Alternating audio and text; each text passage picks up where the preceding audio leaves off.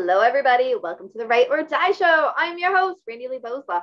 On today's episode, I am talking to Mary Elizabeth Jackson again, but we are talking about being parents of kids with neurodiversities. So we've got a whole different conversation for you all lined up. If you didn't see the episode with Mary that she's already been on, that is episode 67, hashtag Lifebox. So go ahead and check that out as well. But don't worry, you don't have to listen to that one before you watch this one. Welcome back. Long time no talk. yes, right. Do you like my cup? Look. Ah, Star Trek. Yeah, I'm not a Star Trek person, but I know there's lots of people that are. So don't unsubscribe to the channel just because I'm not. are you a Star Wars fan? Uh, not really, no. Okay, so some people are more Star Trekky, some more more Star Wars, but I I'm more both. like Freddy Krueger. Oh. All right, so you were just on the show not that long ago. It was episode 67 for those of you who have not watched it yet. And it's actually really funny because um, Mary's episode was just posted and we're doing the recording for the follow up. The same day. I know, isn't that funny? and it wasn't planned that way, like at all. No. Um, no, she had no idea when she booked her second one to that it would be posted this day. So uh, that's right. So I, I, what I do, I emailed you today. Are we still, are we still yep. on today? Yeah. it was so funny. Yeah. So we wanted to follow up because we realized as we were doing that first interview that we have a lot of commonalities when it comes to parenting and the world of neurodiversity. Absolutely. Yes, And it is an interesting world. It is a ever changing, constantly on your toes, make you grow, never get to sit down and relax world. exactly. Oh, yeah. Is that a good explanation or description of it? I love it. It works for me. Um, so- oh, and I've been using I've been using Lifebox. I have been using Lifebox. Notice yes, that was the that's the title of Mary's episode. Hashtag Lifebox. Yes, absolutely. I've been using that when I've been talking and when I've been like in front of people and doing events or whatever yeah. and talking about kids and let's give them tools for their life box. You ah. know, like in our toolbox, we need a wrench, we need a screwdriver, we need a hammer. So our life box requires lots of different tools as well. So, yes. So, when did you join the world of neurodiversity? Hmm. after my, well, you know, that's interesting. So my my first daughter at 18 months was diagnosed with texture sensitivity, but back then, the, the I said, "Well, what do I do about this?" The doctor says, "Nothing. You don't do anything. You just feed her and you just go on." Well, that's not true because from there, then she had all these other things that nobody could tell me what to do about, right? You know, only wear purple, only wear certain fabrics. Nobody can touch her. Nobody can hold her but mom. You so know, they misdiagnosed. Oh, to- totally missed her. And then my, that would have been 2001, two, three ish. And then in 2003, my middle daughter was born. And um, so she was very quiet at first. So I thought, oh, she's the quiet baby. Now, granted, I've been around children my whole life. I had a daycare before my girls were were born oh, because I was going to school and I had a daycare. So I've been around kids. I helped raise my brothers because I'm the oldest. So you know, you think you know a little bit about children. You think? Whoa! Did I not know? I know nothing, right? So uh, Lily was born, and you know she was very quiet, and I thought, oh, she's just going to be quiet. And she she didn't crawl. She was a late crawler and a late walker, like 14 months, but she rolled. Like I remember coming in the room one day, and oh my god, where's my child? She rolled around in the kitchen. You know, she was getting someplace. she absolutely was. So uh, my oldest did everything early, talked early. She jumped before she could do anything. I mean, like it, was, she went from crawl, sitting to crawling to standing to running and jumping. You know. Okay. So she could, you know, in 18 months we were singing the 12 days of Christmas, and so I never ever thought there was anything because I didn't know anything about this stuff. I knew very very little. So then Lily comes around. She's a non she really ended up being nonverbal. So about eight, um, she was two and a half, and TIS or early in, uh, Rainbow Early Intervention came through the preschool. They did testing on all the children, and because Lily was already doing some really some smart things, some things that I thought were ahead of her age. um, I said, sure, go ahead and test her. I'd like to kind of see where she's at, but she wasn't talking yet, really. This is, you know, granted, she's yeah. two and a half, right? She was talking, she was babbling a lot, but I thought, oh, we just thought, so she was very obsessed with costumes and wearing fairy costumes, and her language sounded like a fairy. So we thought, oh, it's so oh. cute, right? Yeah. no idea. We videotaped it. It's so cute. I'm thinking she'll outgrow it. This is just something we'll remember her for, you know, or by in her life. And so when they tested her, they're like, well, you know, she's talking at an 18 month old level and she's almost three. I was like, what? Well, so like this is a problem you know? I mean yeah. seriously. You don't so, know. Um, like, no you don't know. know. you don't know. And she did this cluttering stuff. She would go ticka ticka ticka ticka ticka ticka ticka ticka ticka okay mommy? And i was like sure. I hope i didn't tell her to run and it's okay to run out in the traffic you know? or stick her yep. finger in the socket you know? Because you're like what is she asking me Yep. So that started us on our journey. So it was about six weeks before she turned three. They did all this testing on her. She's developmentally delayed. She's got NOS, which is non other specified because they couldn't figure it out. Yep. She was uh, language delayed and somewhat nonverbal. Um, she would do these things where, like, you'd say something to her and there'd be a glitch for a minute. And then she might answer you but they couldn't figure out what the heck was going on. But it was like it was like watching a computer that couldn't take input and yeah. then give output. Um, so she went into the state program. So it was through the school system, and um, that's where my journey began. And and I went in green as the grass, thinking that everyone like new baby grass, right? Thinking that everyone was looking out for my child, everyone was on my side, everyone had her best interest at heart. Now there are people who do, but yeah.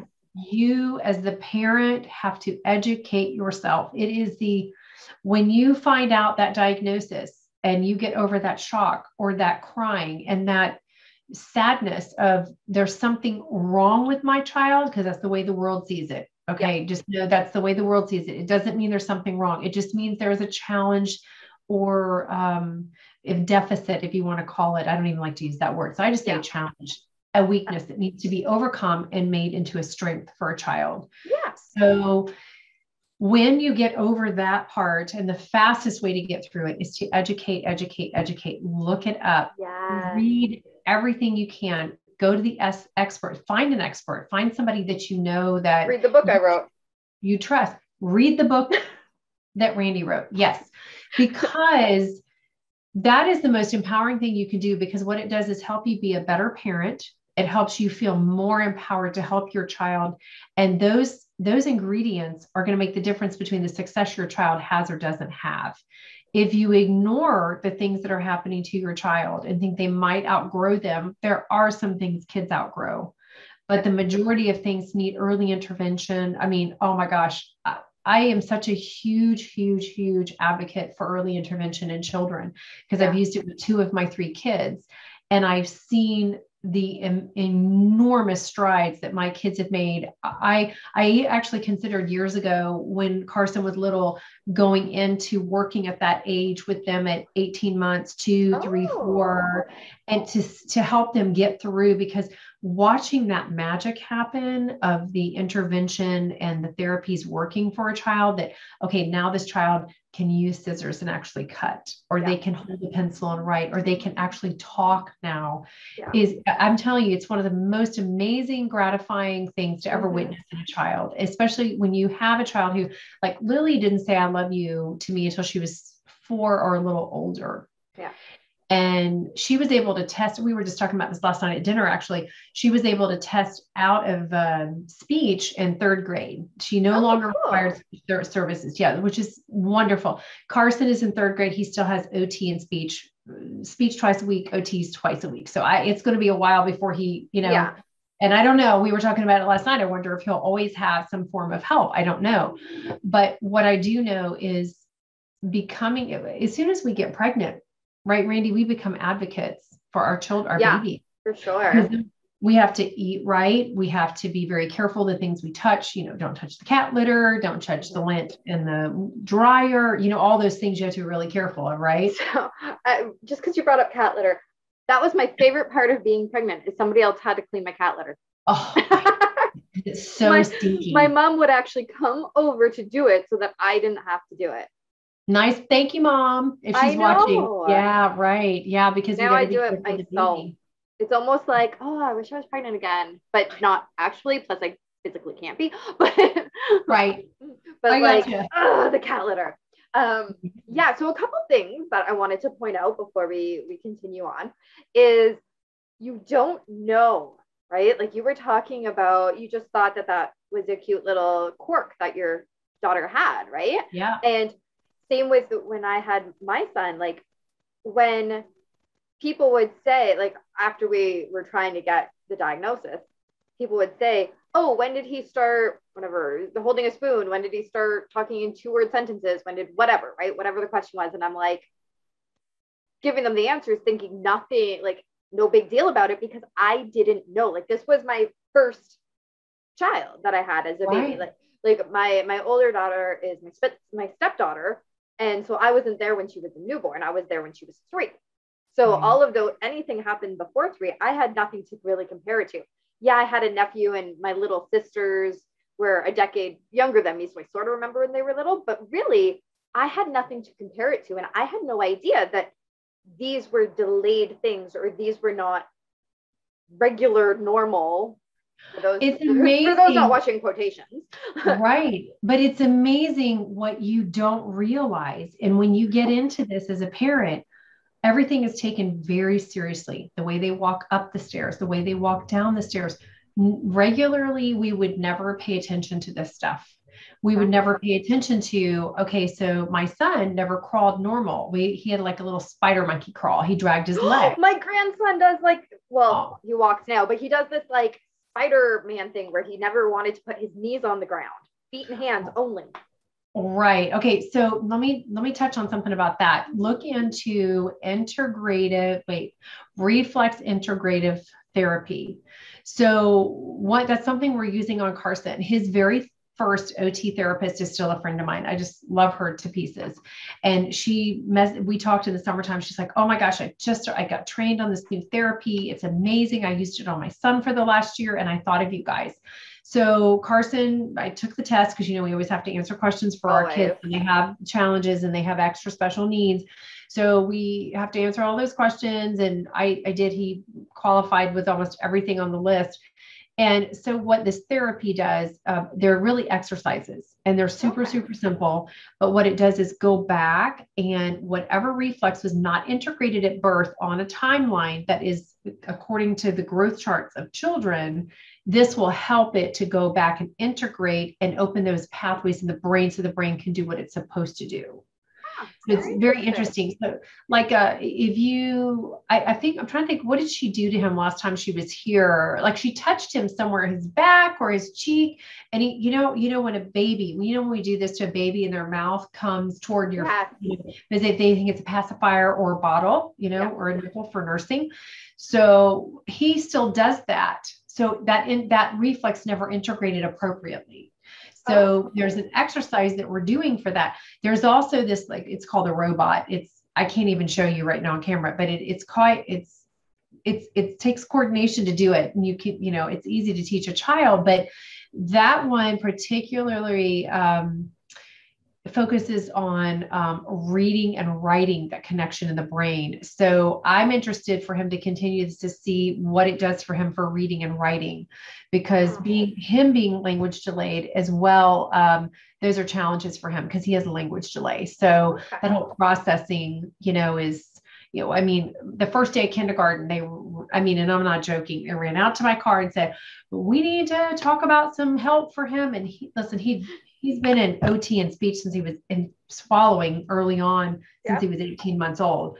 So, I mean, he's had help. And still, with him having help, they ran out to me the first day of kindergarten and said, "Okay, we got to work on his handwriting. Um, I need you to get this kind of pencil. You know, get oh, this wow. kind of paper. You That's know, we good though that they were right on top of. It. Oh yeah, totally on top of it the very first like, day. For my kid, they were just like, "Nah, you're fine." Nah, fine. Uh, right. Until it became a major right. behavioral issue.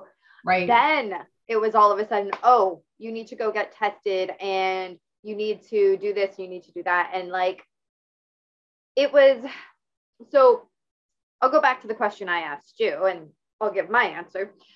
So, and then we'll both be on the same page here. So the question I asked you, you know, when did you join the neurodiverse world? I have two answers to that. It's very funny. So my first answer is the day I was born. Um, I just there didn't know it till this year. um, but when I knew that I had joined the world of it, my kid was eight. So at eight years old, finally got the diagnosis of autism. Now, it takes a lot longer for girls to get diagnosed. And let me clarify because people have heard me say my son, trans. So born a girl is now a boy. So at the time um, we got the diagnosis, he, he was still a girl. And when you look at a female for just what I've read and what I've researched, right? I'm not, again, I'm not a doctor, I'm just a mom. Um, but girls present autism very differently because we tend to mask better and, you know, girls being more quiet is fine, or, you know, we just, we try to fit in in different ways than boys do. and so yeah. finally at eight years old, they were able to diagnose him and it took a, such a long time because, again, there was all that masking. Yeah, there was a speech delay. You could totally tell. Yes, there was fine motor skills. You could totally tell. But instead of looking at that route, they at first they diagnosed with ADHD and sensory integration and ODD and, and, and. They just listed a whole bunch of diagnoses. wow. But all of them together really just made Said more autism. sense. Yeah, it just made more sense to just say autism because it incorporated all of these. So it was, right. and you were talking about how, you know, you have to get over that initial shock. In our mm-hmm. house, it was more of or a grief, shock or grief or whatever it is that you experience or well, denial, even.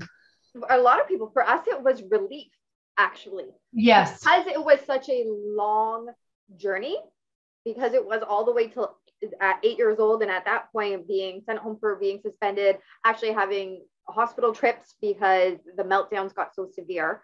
So for mm. us, it was actually a relief. Like, oh, there's a reason why this is happening. Right. Well, there's there is a there's like a it's like a person who is sick who keeps going to the doctor and they don't find anything until they do that MRI and then oh that's what it is.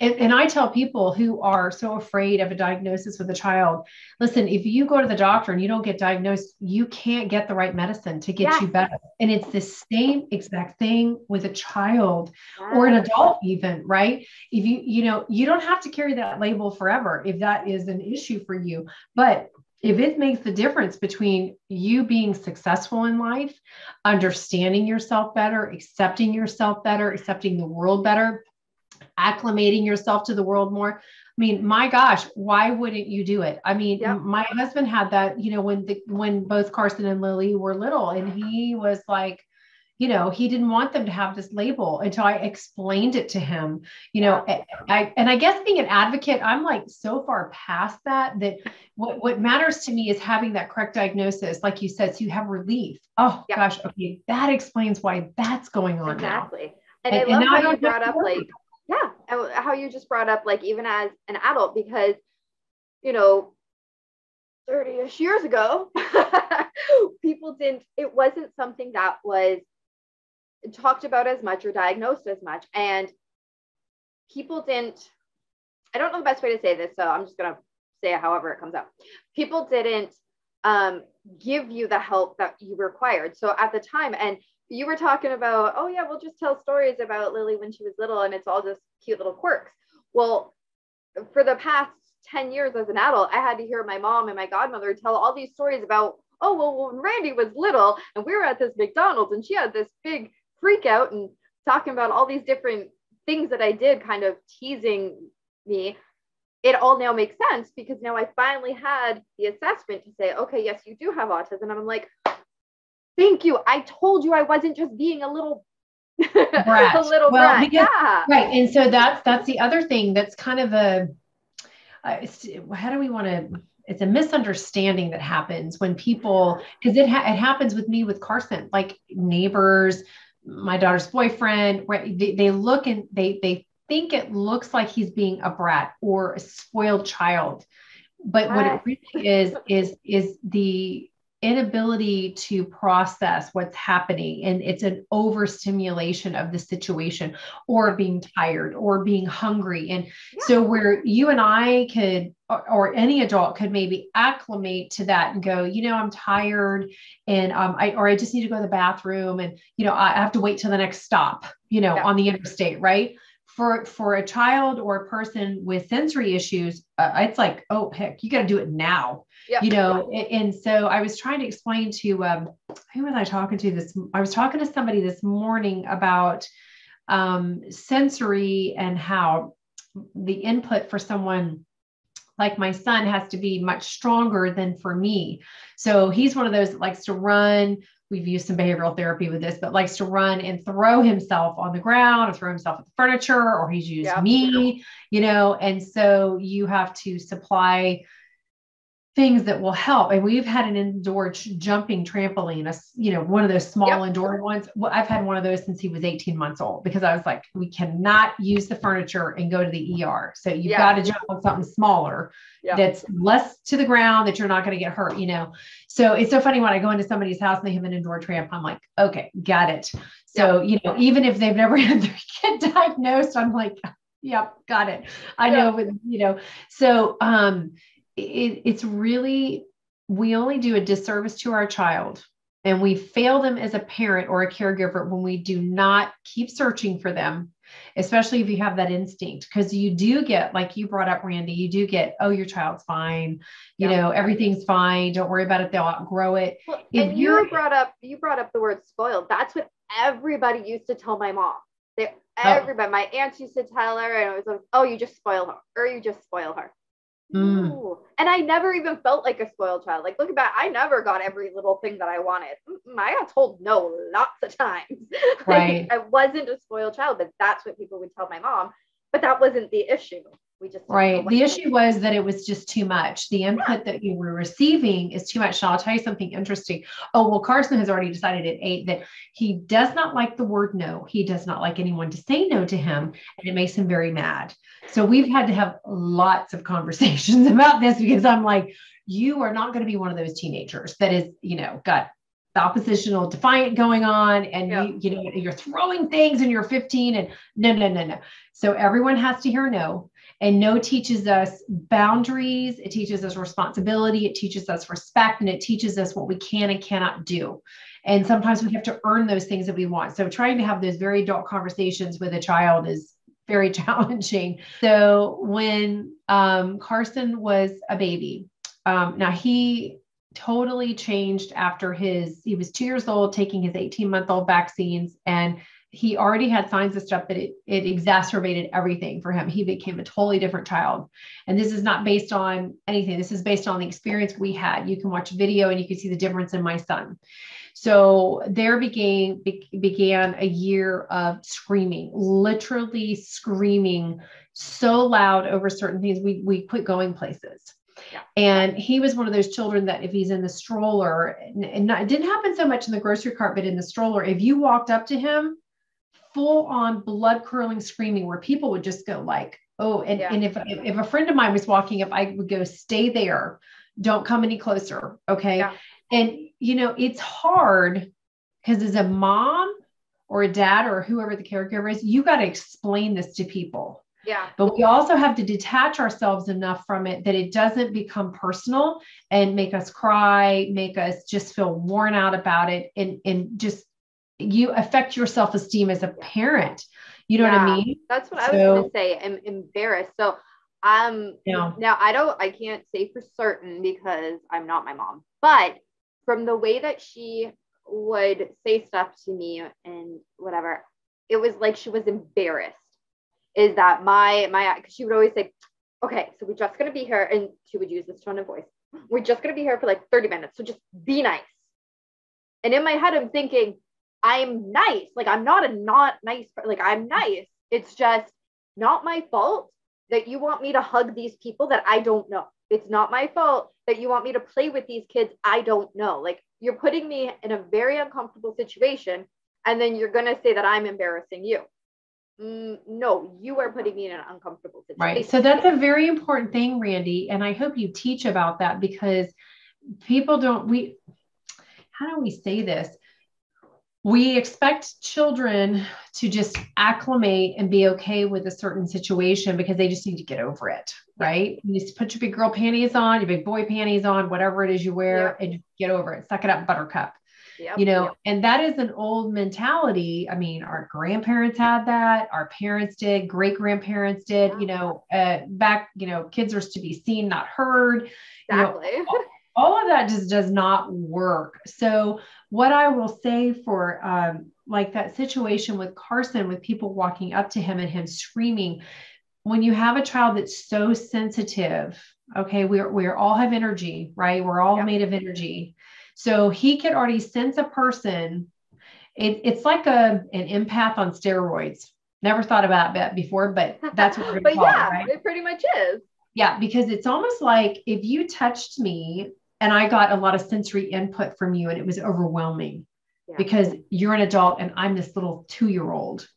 Okay. So what am I going to do? I'm going to scream because when you touch me, it's too loud or too much or hurts too much and i can't put a word to it i have no idea what's going on i don't understand exactly. what's happening so isn't that interesting yep and so when my my kid was younger i mean even now sometimes but he's 15 now so it's not as big of a deal and he's learned a lot about himself and on the right medication with which really helps and things but we never we never said you had to hug an aunt or an uncle or a cousin or whatever that is your That's choice. Um, and we never like sometimes we'd go to an event and like a birthday party or something, and we'd end up leaving early because that's how long that he could last there, and that's that's how long. Now, there's definitely times that we tried to coax them into staying longer, you know, but we always gave an option of taking a break too. It was always, you know what, why don't we go in the other room? We'll just take a break. Because sometimes yeah. that's all it, w- was needed, right? Is just take a little break and in 15, right. 20 minutes, come back and join everyone else. Right. So there, there's there are options, and I think that's something that you have to learn as you go because not everything is going to work for every child.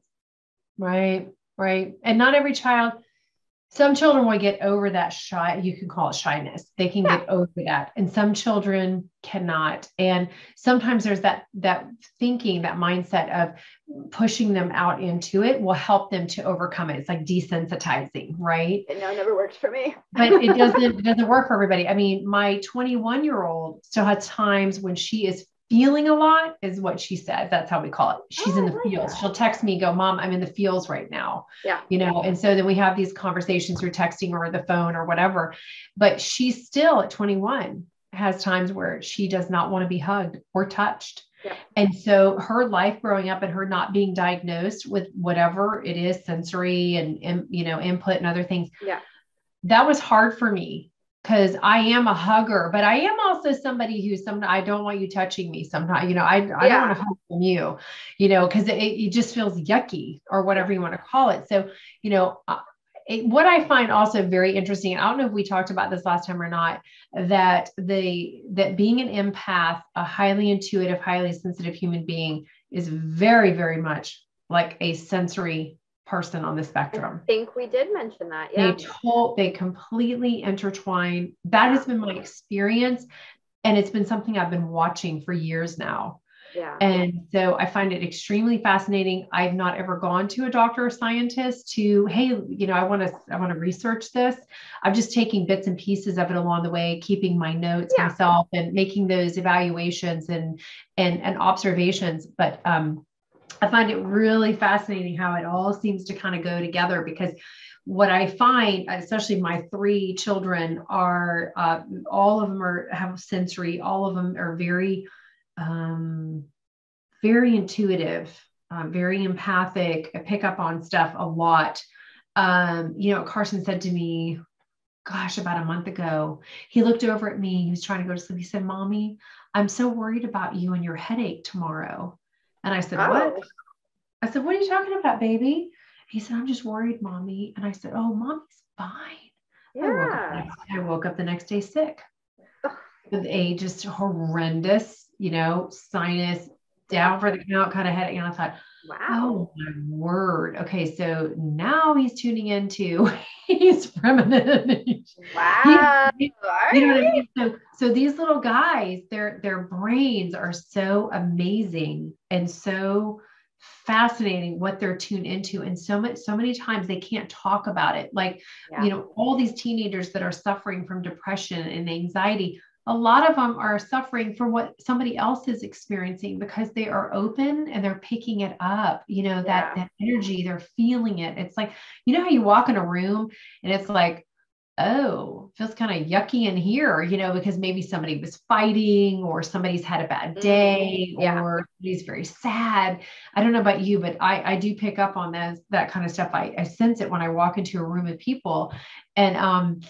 so you know if we could teach our teenagers and young children and uh, you know any kids or whatever how to really understand and feel what they're feeling Mhm. because they could be happy one minute and then they sit down next to their friend Joe and then all of a sudden they're sad and depressed and they don't know why. They can't even Yeah. explain it. They're carrying it around and it's like, well, you know, it may not be what you what you're really feeling. You may just be picking up on your friend because you care about your friend.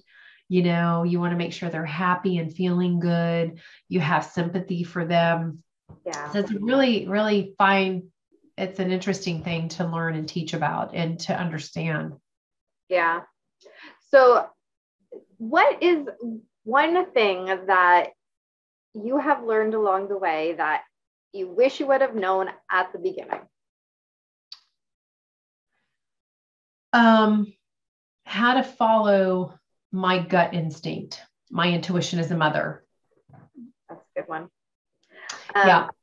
I would say, yeah, see, I can't follow that up. That was really good. well, share, just share it with me because it is Um, so. I'm going to say, take notes right away. yeah, because especially like I have such a horrible memory, and I mean maybe other people's memories aren't quite as horrible as mine, but when the doctors are asking questions later, and I mean we saw so many doctors, and most people probably have, where they're asking the same questions. I'm like, am I giving the same answer? I don't even remember what I said, and you're you're Well, in such a state of like emotional disruptness that it, it's hard. So you could also have post baby brain. You know, you have postpartum depression or post baby brain or whatever. So everything's kind of a fog. Yeah. You know, I mean, and I've had to do the same thing with both both of two of my kids. I've had to go back, you know, even now he's eight, and they'll ask me, "So when did he first do this?" And when did, and I'm like, "Oh my gosh, I need to go look in my file," you know, because I have no clue. I can't remember exactly when he did this because I maybe I haven't filled out a form like that in a year or two, you know, Yeah, and they have that exactly. Yeah. So. I think that's great. You know, take notes and anything that you see that your child does that you think is uh what's a word we can use as positive? Um, because odd is not a Quirky? positive word and quirky is a cute word and um everybody has quirks.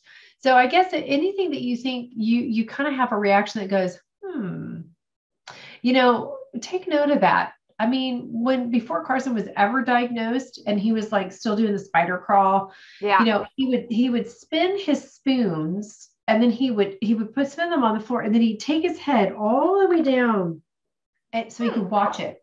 And I was Oh. like, at first I was like, that's really fascinating that he his little brain does that. That's Yeah. fascinating. Then I learned then I learned- then through the years realized, you know, he takes a lot of his stuff by his eyes, you know, because that's that's a way for sensory input into the body.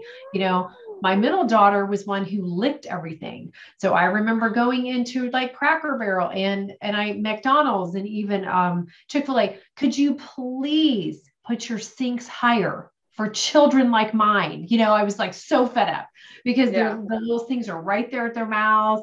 The door locks to the bathrooms are right there at their mouths, you know. And if you've got an orally fixated kid, I Yeah. mean, you're in trouble because they're going to lick just- everything. We both both my kid and me and myself we like to just touch stuff like just like oh this is so soft and this Mm-hmm. Yeah. is like especially soft stuff it was funny Yeah. actually when me and my husband were just at the flooring store on the weekend and not that we were getting carpet but i was drawn to the carpet section and i had to touch like every single one And then every time one was soft, I had like I told my, oh, this was so soft. Oh, this was so soft. My husband was like, yes, honey, they're carpets. They're they're soft. Like, yeah, but it's sensory, it's input you're taking in. You know what I mean? Yeah. It's the way that you feel the world. And and like uh, what my kids do is, oh, it's so aesthetically pleasing, mother. I mean, these are the words that my kids use, right? Yep. You know, it's so pleasing to the eyes. And oh, I just like that's how that's the language that we use yep. in this house.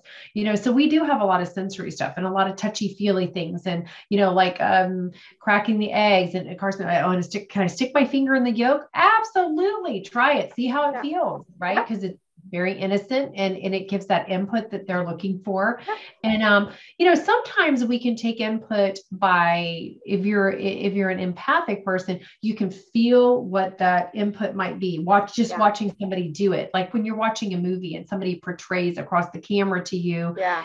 a sadness or a happiness or excitement you can feel that with that person yeah. So you've gotten that you've gotten that feedback that it, that uh, that input, but sometimes we actually physically need to touch or yeah. step on or you know sit on or lay on or smell. Carson's a sniffer. He likes to smell everything.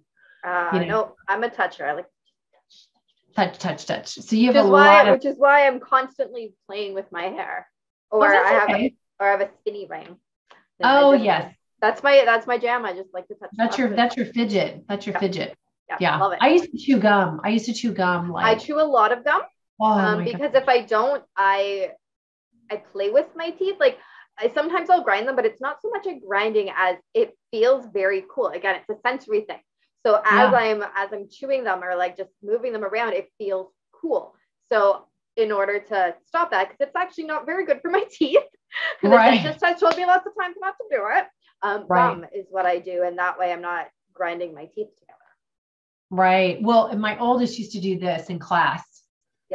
Like this, and then she'd get in trouble with the teacher. The teacher would get mad, and I was like, "She's just touching her hair. Yeah. It's a it's a calming thing for her, you know." Yeah. So, I I know um, that it, when I mean, I'm trying to think of when I stopped chewing gum because that was like a it used to help me it used to calm me down. It was like an, you know, it would help that external, yeah. like the fidget does, you know.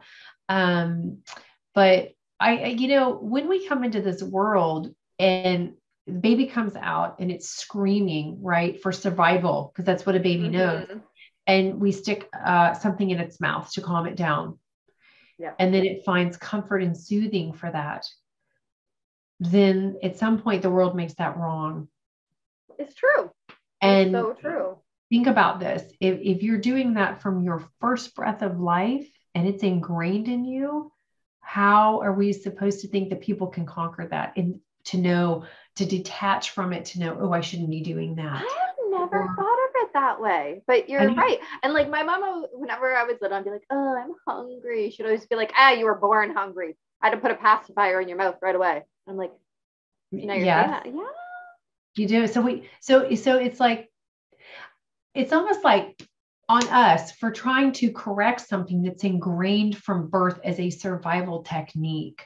So yeah. you have people who are nervous in the world, and what do they do? They smoke, right? Because when they smoke, it calms them down, even though yeah. it's a really bad thing because it's a lot of toxins, right? Mm-hmm. Um, you have people who drink, it calms everything down. You have people who I used to chew straws, you know, oh. chew, chew on the straw, right? I don't know why. Now I've got one of my daughters that does it. I don't do it anymore. So maybe it's a gene thing, a genetic thing. You know, you, it's funny how you you see your kids do things that you did and you're like, I never taught them how to do that. you know? Yeah, yeah. So it's pretty funny, right? But I mean, we think about that and so how can we replace oral fixations in the in life because food is sustenance right food goes in the mouth we have to have it to live and survive we have to drink to live and survive so it's kind of an interesting thought, isn't it? It is. And I had never never thought about that before, but I like that. And it's becoming a little a little bit more commonplace for people to to accept chewing stuff or putting stuff in your mouth. Um, because there is like the the chew jewelry. There we go. Yep, the jewelry. Chewy yep. jewelry. Yep. Um, yep. But there are still, you know, a lot of people that would look at that and go, "What the heck are you doing?" Well, it's better that than they're, you know, chewing their fingernails down to the nub. Exactly, you know? exactly. So for the last question before we wrap up, I just want to Mhm. ask, you know, what advice would you give to a parent? Because really, this episode is kind of geared towards parents a little bit more. Um, what what advice would you give to a parent who's struggling but they're just not quite sure? Or actually, not anybody. Yes, parents, but anybody. If you're struggling and you're just not quite sure, what's your advice Okay, so what you're not quite sure about what? about what what's going on? Like you're you're seeing maybe You're seeing some stuff? issues. You're you're seeing stuff and you're just you're just not quite sure. Well, I think they that we need to give them uh, both of our advice to take notes, keep a log, you know, um, because a child who even reacts to food, you're going to need to keep a journal to see what do they react to, you know, what sets them off. If certain foods make them crazy, like my oldest couldn't have green jello, she'd bounce off the walls, right? Really, I've heard a lot with red, but not green. I know we used to laugh when she was little. Like she would, like she's four or five. She, go, I can't eat green jello because it makes me crazy, and we'd laugh about it, right? But you know, but no, she was not allowed to have green jello. So um, I would say you need to take notes and you need to follow what your instinct is. If your instinct says, you know, there's something that needs to be checked or investigated further or looked into, you know, don't stop until you find the doctor or you find a professional who will listen to you and not just blow you off. Don't ever discount your instinct because for to me, I always call it the God alarm that was given to us at birth.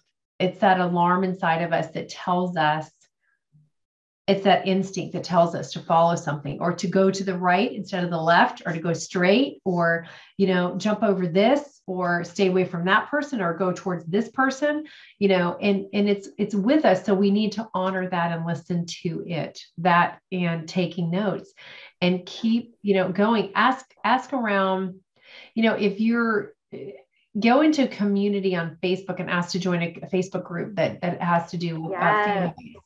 And ask ask the questions in there because those parents are usually always they're always very serious and honest. If you ask a question they're always willing to help.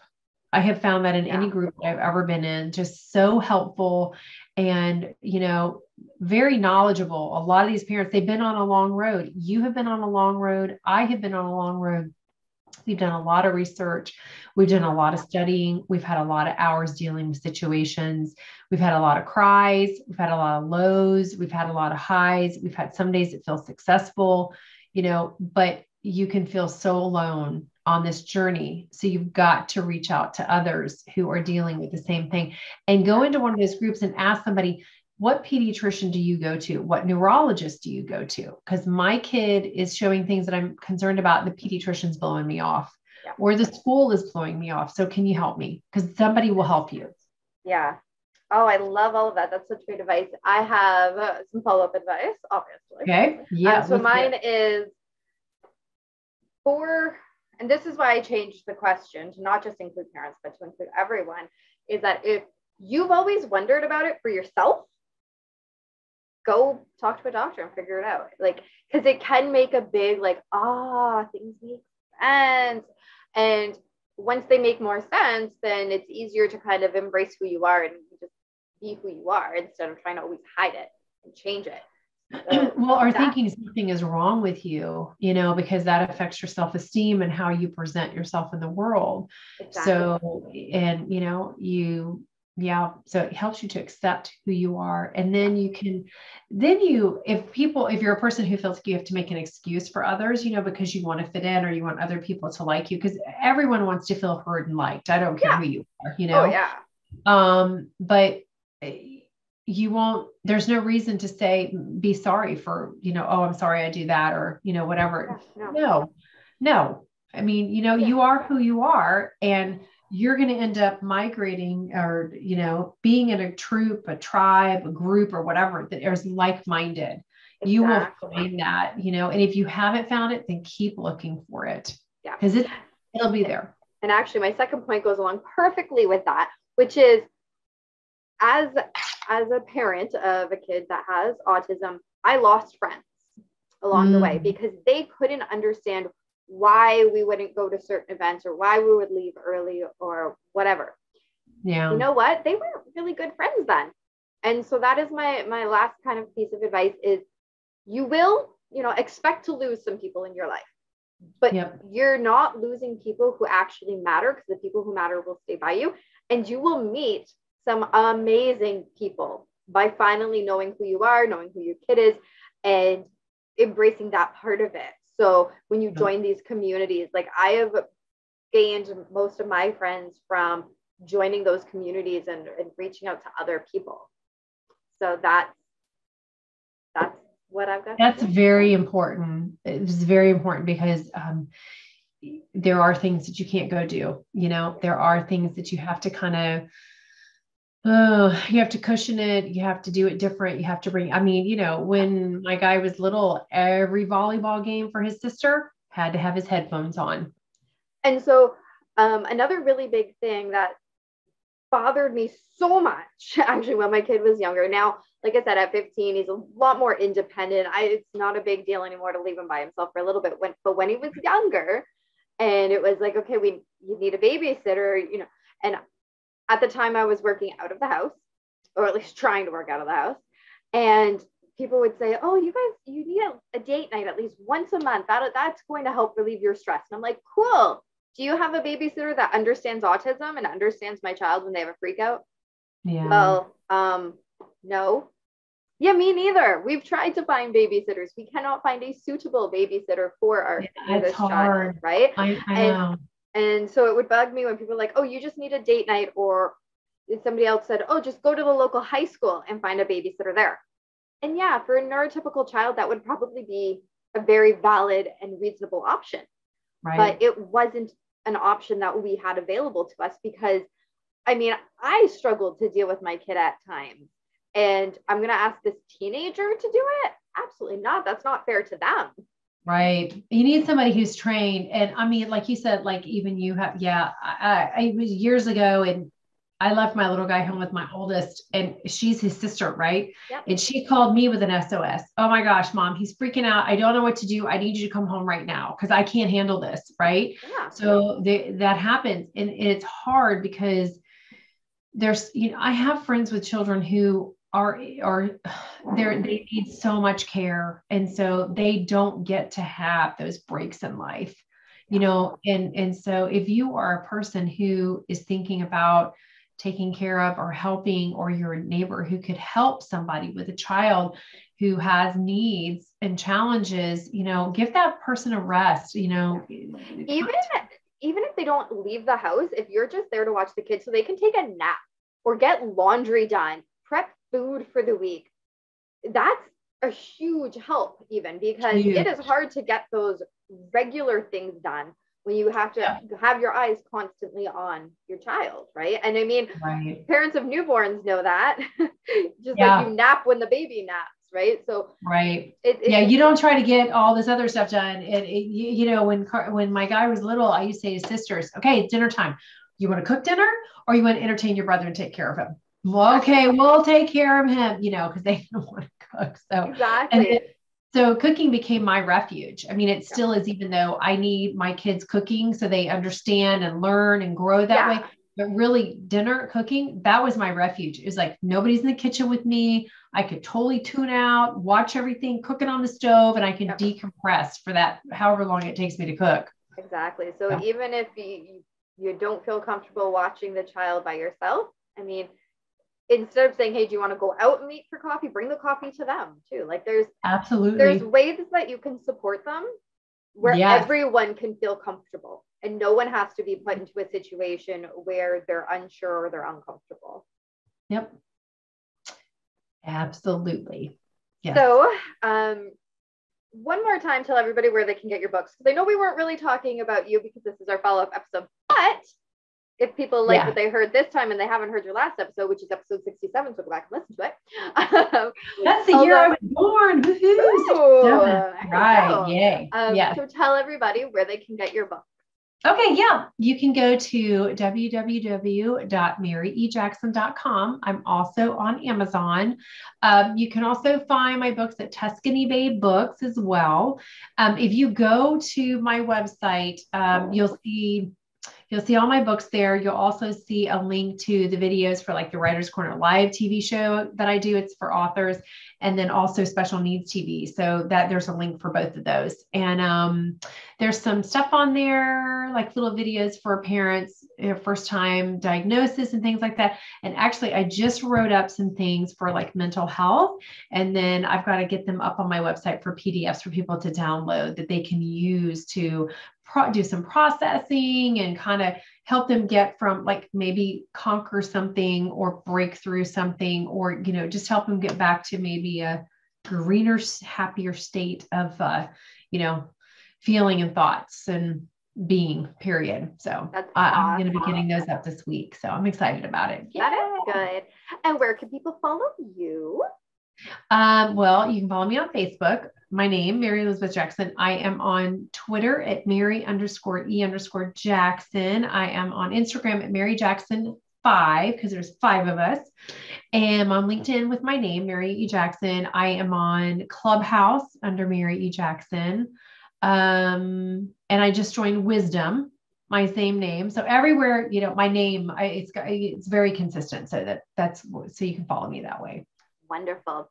Um, and I wasn't going to, but this just popped into my head. So, because we're talking about this topic specifically, and I don't normally um, promote my own books on these episodes, but because we're talking about this specifically, I have just released two social stories books. They are on Amazon. So, one is, and I have my copies upstairs. I should have had them here to show. Um, but one is about just conversations and the need to take turns in a conversation. And the other one is about how to go to the bathroom and wash your hands afterwards. So oh, if if you're if you know any kids that are struggling with that, they are available on Amazon and they're just these tiny little books. I I just got, I literally just got my copies today of them and they look so cute. They are perfect. Oh, um, I love them. I love them. I love them. Okay, so yeah, I need to I want you to um will you do a post about them and tag me and I'll share it?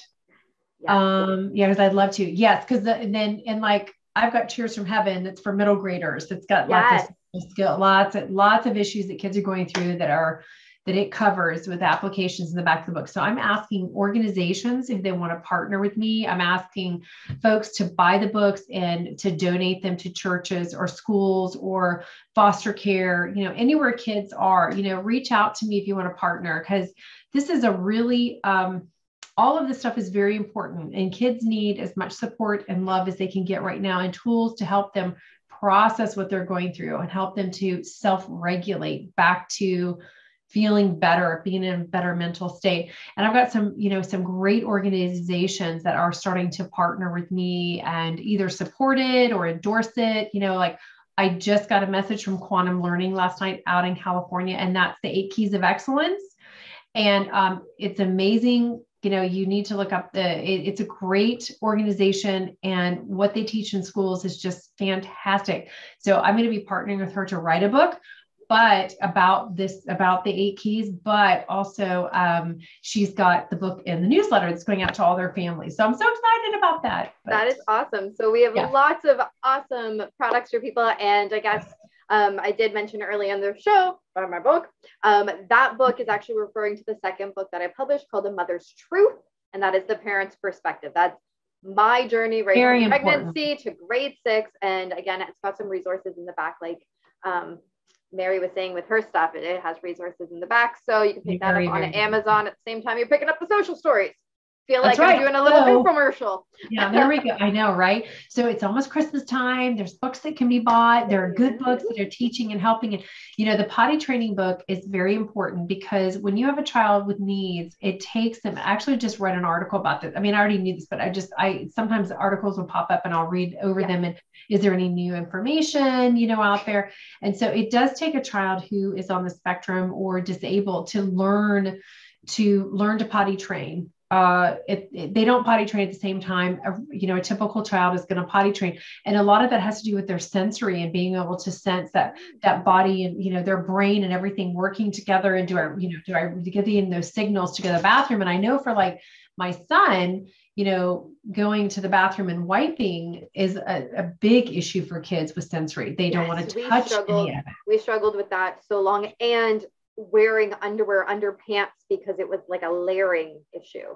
Yes. Yeah. So, so you know, those I, are things that a lot of people don't think about. No, and actually a great tip because you made me think of this and we're talking about potty training. Um, how we ended up potty training our son is back then, um, he only wore dresses because that's, you know, back when he was still a girl and trying to be a girl. Um, and so like I'm talking like two, three years old. Only would wear dresses, only would wear dresses. Tried, you know, the oh, you went to the potty, here's a here's a sticker thing. Didn't work. So what we ended up doing is um, if he had an accident, then mm-hmm. he put on a pair of pants. And he didn't like that because he was told that girls wear dresses. Like this was what his um, older sister was saying to him, right? Uh-huh. And so, because she has a very black and white gender roles, whereas the rest of us are much more fluid. Um, and so that was actually how the easiest way to potty train him was okay, well, okay. I'm sorry that you had an accident, but now you don't have another dress to wear. So I guess you have to wear these pants. And we didn't make it like a bad thing. Like, don't get me wrong. Right. It wasn't like, now you have to, it was like, oh no, now we have to do this because we have to wash your clothes first. Um, and it potty trained yeah. like that after that. Oh, that's good. You got to find that's what works. Good. Yeah, you got to find what works. So, yeah. yeah. Um, anyways, I could go on and on forever, but we are going to end this episode. Thank you so much again, Mary, for coming back on and sharing a little bit more. Um, because again, this is such an important topic. And I know we didn't specifically talk about mental health, but heck, it's my show and I want to talk about autism too. well, yes. And you know, but this is their mental health is rolled up in all oh, of this. So the stress from it is so there's a higher rate of divorce in families with children who have challenges of, of all varying degrees. It doesn't matter because raising kids is a challenge. And then you throw in everything else, um, and it just kind of, you know, takes it up several notches. So mental health is very much a part of all of this. And um, so, you know, keep going, keep trudging forward in your life, you know, and you're going to have good days and you're going to have bad days, but just keep getting up and keep going, right? Bye. Bye. So that was another excellent conversation that I had with Mary. Make sure you check out those links down below in the description. I'm also going to throw down in the description the link to those social stories in case you're interested and you want to get all your hands on those and stay up to date that because I am going to be publishing more of those. I think the next one I've got almost done is the putting your toys away, which I still struggle with. Maybe I'm going to write it and give a copy to my husband and be like, look, this is how you put stuff away. Um, so, again, thank you, Mary, for being on the show. And remember, the only way to end the stigma of mental health is to speak openly and honestly. Bye.